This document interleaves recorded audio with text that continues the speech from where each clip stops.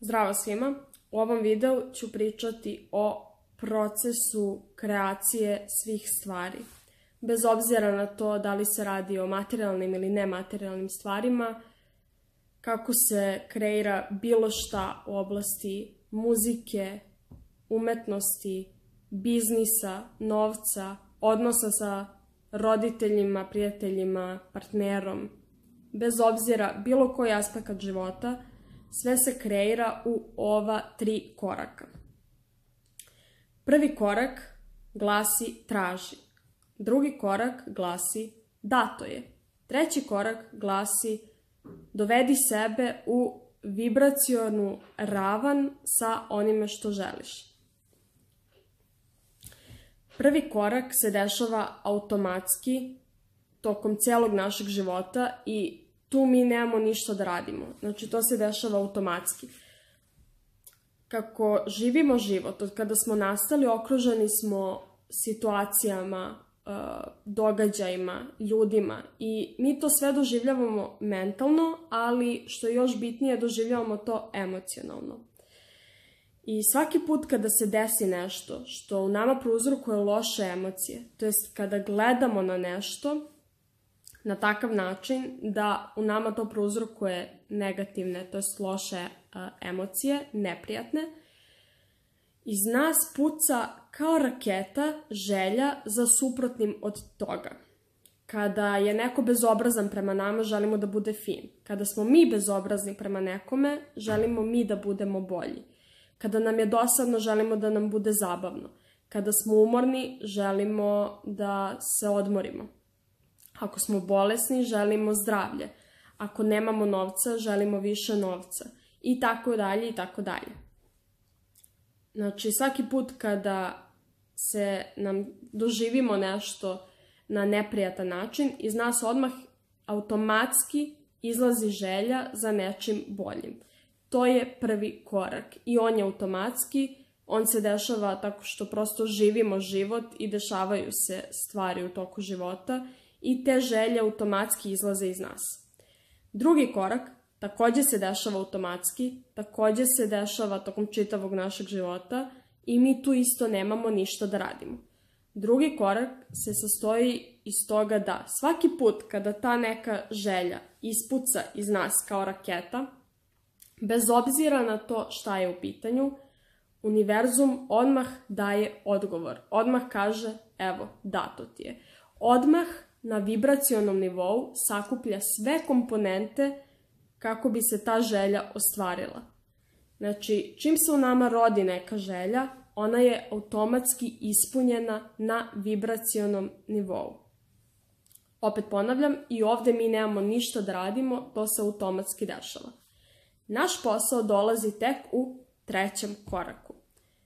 Naš posao glasi Dovedi sebe u vibracionu ravan sa onime što želiš. Kako to radimo? To radimo tako što nalazimo načine da se osjećamo dobro. Usmeravanjem naše pažnje kao onome od čega se osjećamo dobro ili loše, mi odlučujemo svesno ili nesvesno, usmeravanjem naše pažnje kao onome od čega se osjećamo dobro ili loše, mi odlučujemo na kojoj, vibra, na kojoj frekvenciji ćemo vibrirati. Kada se osjećamo dobro, to znači da vibriramo u skladu sa svim našim ostvarenim željama, to jest da vibriramo na frekvenciji na kojoj privlačimo sve ono što želimo. Kada se osjećamo loše, to jest neprijatno, isto privlačimo stvari u svoj život, ali stvari koje ne želimo. Zakon privlačenja je konstantan, ne može da se isključi.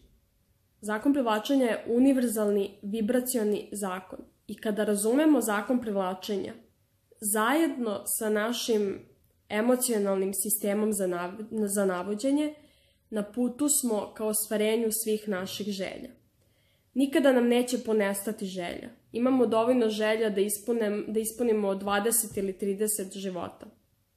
Jer mi smo večna bića koja su odlučila da dođu u ovaj fizički svet radi radosne ekspanzije. To jest, baš radi ova tri koraka, kako bismo živeli svoje životno iskustvo, odlučivali šta želimo, šta, to jest šta ne želimo i iz toga šta želimo, kako bi univerzum to odmah ispunio i kako bismo mi radosno obavljali ovaj treći korak koji je jedini naš posao, a to je da nađemo način da dođemo u vibracionu ravan sa svim našim ostvarenim željama.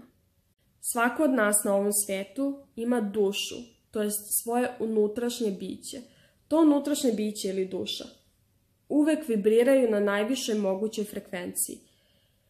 I kada se mi osjećamo loše, to samo znači da u tom trenutku mislimo nešto što nije u skladu sa našim unutrašnjim bićem, to jest mislimo nešto čime blokiramo ostvarenje svih naših želja. U toku našeg života smo stvorili veliki broj obrazaca misli, to jest uverenja, i dosta tih uverenja nam služi i zapravo je dobro po nas, ali postoje, postoji gomila uverenja koje svako od nas ima, koje nam ne služe i to možemo promeniti korak po korak. Jer uverenja su samo misli koje nastavljamo da mislimo iz trenutka, iz trenutka u trenutak iz dana u dan. Naše vibracijono biće nam uvek nudi inspiracije i ideje koje su samo sledeći logičan korak ka ostvarenju naših želja. Ono nikada ono nam nikad ne nudi više nego što možemo u tom trenutku da podnesemo. Kao navigacioni sistem u kolima. Ako želim da dođem danas iz Beograda do Soluna, navigacioni sistem u kolima će mi pokazati kako to najbrže i najbolje da uradim i vodit će me ulicu po ulicu. I ako slučajno promašim neku ulicu, navigacioni sistem neće da me kritikuje, nego će samo da preračuna moje sadašnje koordinate i iz tog mesta na kome se trenutno nalazim će mi opet ponuditi najbolji, najbrži put ka destinaciji na koju želim da stignem. Naše unutrašnje biće funkcioniše po istom principu. Ono nas nikada ne kritikuje. Kada mi mislimo da smo radili nešto pogrešno ili da smo skrenuli sa puta, naše vibracijono biće, naše, pardon, naše unutrašnje biće nas ne kritikuje, već sa tog mesta na kome se vibracijono nalazimo, sa svim tim našim negativnim uverenjima, to je uverenjima koji nam ne služe, Naše vibracijono biće nam u tom trenutku pruža inspiracije i ideje samo sledeću ulicu. Samo kako radosno da idemo korak po korak. I naš jedini posao jeste da nađemo način da se osjećamo dobro.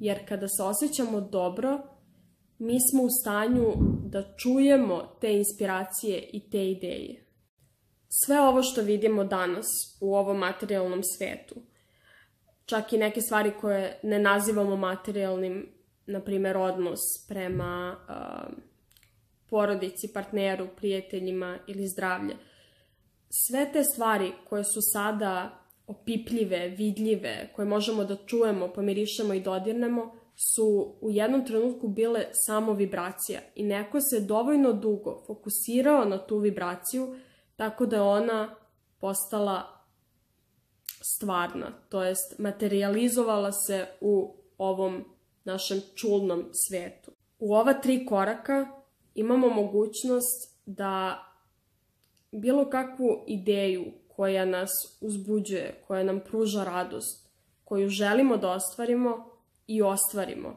posredstvom toga što znamo da je ta ideja već ostvarena, ta želja je već ostvarena i naš posao nije da je ostvarujemo, tako reći, već samo da se opustimo, da dođemo u to stanje vibraciono gde se osjećamo dobro i gde možemo da dopustimo toj vibraciji da se materializuje tako što ćemo se dovoljno dugo osjećati dobro.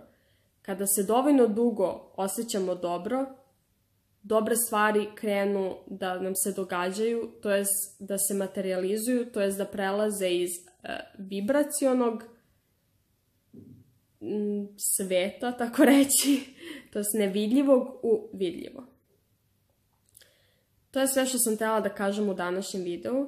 Hvala što ste pogledali i vidimo se u nekom sljedećem videu. Ćao!